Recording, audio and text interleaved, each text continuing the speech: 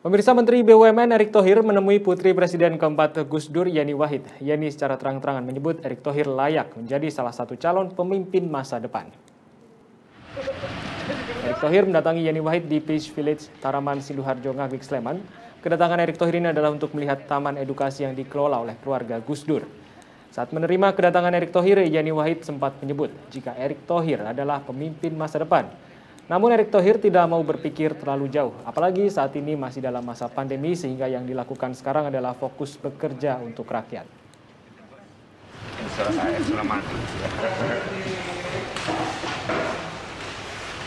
Karena Pak Erick ini mau kita tarik menjadi uh, lebih jawani. Nah, kenapa? Karena beliau adalah calon pemimpin masa depan. Sudah sudah menjadi pemimpin pada saat ini untuk memimpin uh, bangsa ini dalam uh, apa namanya ruang lingkup yang besar.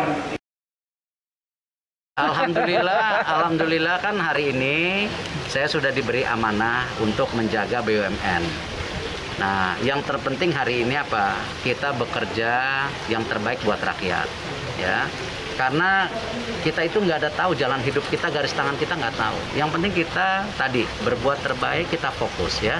Dan jangan mikir jauh-jauh, mikir yang deket-deket aja besok. Mikir hari ini, mikir minggu depan ya. Yang penting tadi kita bisa bekerja dan ada hasilnya buat rakyat.